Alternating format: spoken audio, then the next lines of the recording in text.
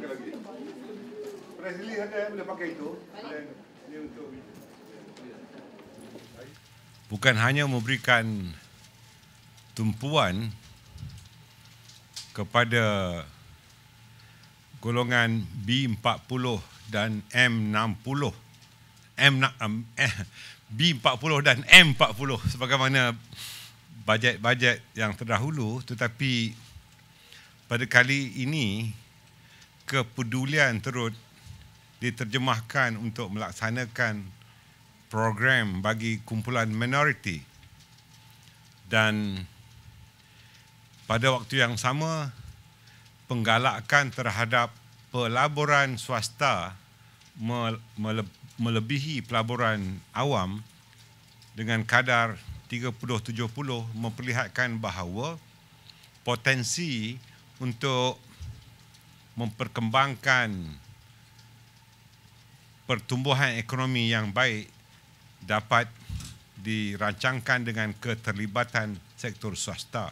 Pada keseluruhannya saya saya melihat uh, ucapan uh, belanjaan kali ini, bajet kali ini cukup menyeluruh, cukup komprehensif dan uh, ianya insya-Allah akan memberikan kesan yang baik dan pada waktu yang sama defisitnya dapat dikurangkan dalam kadar 3% dan ini tentunya digemari oleh agensi-agensi penarafan. Saya fikir mereka feras dengan bajet yang baik.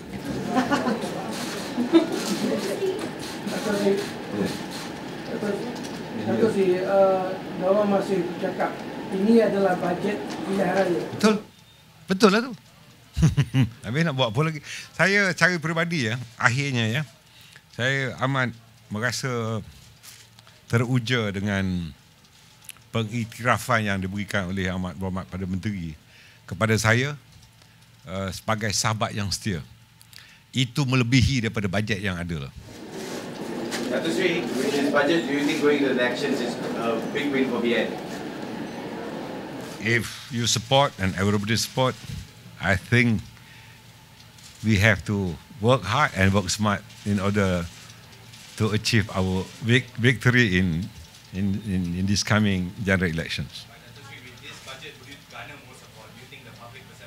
Yeah, we have to we have to follow through the effort taken uh, by all ministries, departments, as well as agencies.